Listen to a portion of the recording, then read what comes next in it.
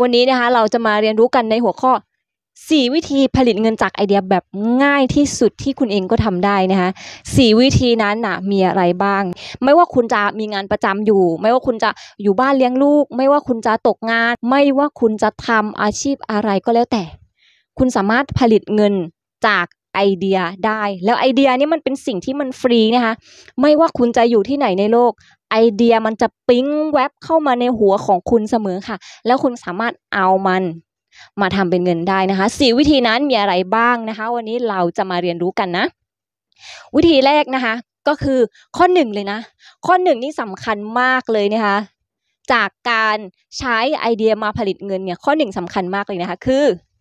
ให้คุณนะคะ ลองสังเกตดูว่า คนรอบข้างอะ ในชีวิตประจำวันของคุณอะ คุณลองสังเกตดูให้ดีๆนะ ลองนึกดูให้ดีๆนะ ในแต่ละวันน่ะ คนรอบข้างเขาชอบมาถามอะไรคุณบ้าง เขาชอบมาปรึกษาอะไรคุณบ้าง เขาชอบมาปรึกษาเรื่องอะไร มาถามเรื่องอะไร ในแต่ละวันให้คุณลองนึกดูดีนะคะ สิ่งเหล่านี้แหละ สิ่งที่คนชอบมาถาม สิ่งที่คนชอบมาปรึกษา สิ่งเหล่านี้แหละ มันคือสิ่งที่คุณสามารถเอามาทำเงินได้นะคะ มีคนมากมายในโลกทำเงินเป็นหกหลักเจ็ดหลักแปดหลัก จากการให้คำปรึกษา จากการสอนคนอื่น จากการช่วยเหลือคนอื่นเนี่ยมีคนมีคนผลิตเงินจากสิ่งนี้มาแล้วเยอะมากนะคะ คุณอย่าดูถูกนะ คุณอย่าดูถูกนะ ความสามารถที่คุณมีเนี่ยคนอื่นเขามองเห็นนะ แต่บางทีคุณอาจจะมองไม่เห็นนะ บางทีคุณอาจจะมองไม่เห็นนะคะว่าคุณมีความสามารถอะไรอยู่ แต่สิ่งเนี้ยนาตาชาบอกให้คุณจับสังเกตตัวเองเลยนะคะลองจับสังเกตตัวเองดูว่า คนอื่นน่ะเขาชอบมาปรึกษาอะไรคุณ เขาชอบมาถามอะไรคุณไอ้สิ่งเหล่านี้แหละที่เราสามารถเอามาผลิตเงินได้ ข้อสองนะคะข้อสองคือคุณสามารถเรียนไปแล้วก็จดไปได้เลยนะ คุณสามารถเรียนด้วยจดด้วยได้เลยนะคะข้อสองนะคะคือ คุณเนี่ยลองจับสังเกตตัวเองดูนะคะข้อสองคุณอะคุณชอบอะไร คุณคุณชอบอะไร คุณทำอะไรได้แบบทั้งวันโดยที่คุณไม่เบื่อคุณทำแล้วคุณมีไฟคุณทำแล้ว คุณ คุณรู้สึกว่าทำไมเวลามันผ่านไปเร็วจังทำไมแป๊บเดียวก็ค่ำแล้ว คือคุณรู้สึกว่าคุณมีโฟล์อะ คุณมี energy ที่จะอยู่กับมันอะ นั่นคือสิ่งที่คุณสามารถเอามาทำเงินได้นะ เพราะอะไร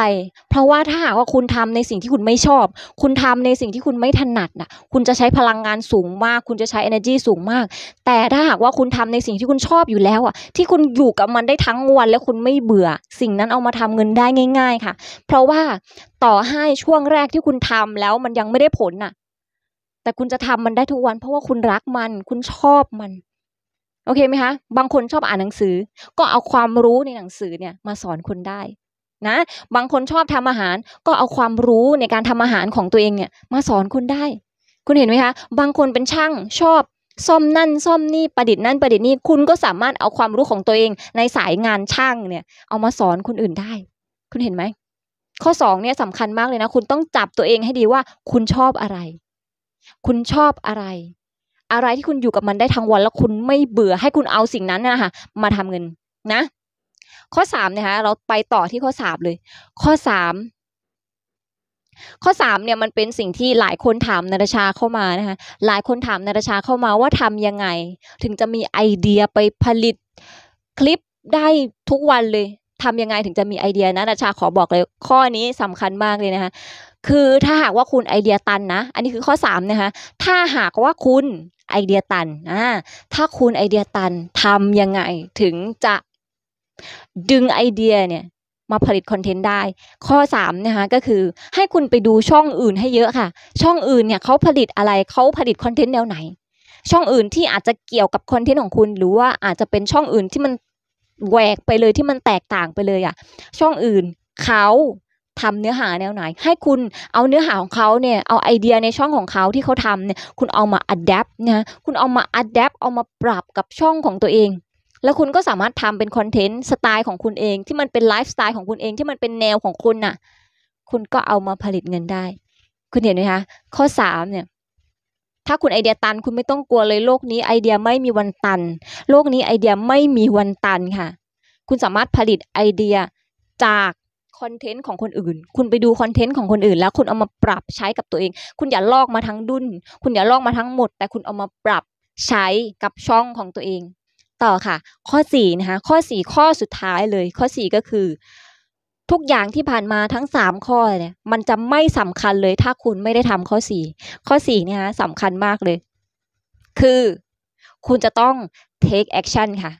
สามข้อที่ผ่านมาจะไม่มีประโยชน์เลย ถ้าคุณไม่ take action ถ้าคุณไม่ลงมือทำคุณเห็นไหมคะ ไอเดียมา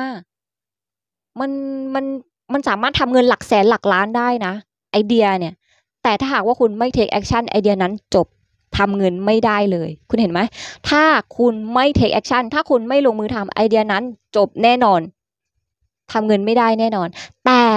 ถ้าหากว่าคุณลงมือทำ เอาไอเดียมาเขียนเล็ก ๆ น้อยๆ เอาไอเดียมาเขียน เอามาวางสคริปต์ คือคุณสามารถที่จะทำได้โดยที่คุณไม่ต้องจัดแสงจัดไฟไม่ต้องจัดฉาก คุณสามารถถ่ายได้ในชีวิตประจำวันของคุณน่ะ คุณสามารถเอาตั้งกล้องเอากล้องมาตั้ง แล้วคุณก็ถ่ายได้ แล้วแต่เลยว่าคุณจะทำคอนเทนต์แนวไหน จะสอนคนจะ entertain จะตลกจะเลี้ยงแมวจะทำอาหารจะเล่นกับลูกคือทุกอย่างเป็นคอนเทนต์ได้หมดนะ ทุกอย่างเป็นคอนเทนต์ได้หมด คุณสามารถเอามาลงมือทำแล้วคุณก็รอดูว่าผลลัพธ์มันจะเป็นยังไง